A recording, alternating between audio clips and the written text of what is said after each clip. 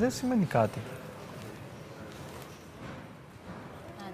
Εντάξει, σίγουρα δεν σημαίνει κάτι. Και εγώ λέω π.χ. Όλες εδώ μέσα είναι πολύ ωραίες κοπέλες. Και εγώ λέω π.χ. ο Τάδε είναι ωραίο παιδί. Δεν τρέπομαι να το πω. Η αλήθεια είναι. Ναι. Απλά είναι ένα σύνολο πραγμάτων που εμένα δεν μου άρεσε. Και με έχει κάνει να απομακρυνθώ από εσένα.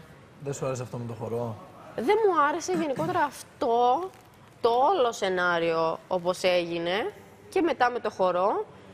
Έτσι όπως μου... Έτσι όπως το έχω Έλα, ε, λάβει, δεν μου αρέσει.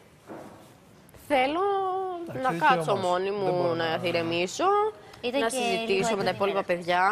Για Γιατί τα υπόλοιπα παιδιά δεν ξέρω, νομίζω ότι μπορεί να με έχουν παρεξηγήσει για το οτιδήποτε.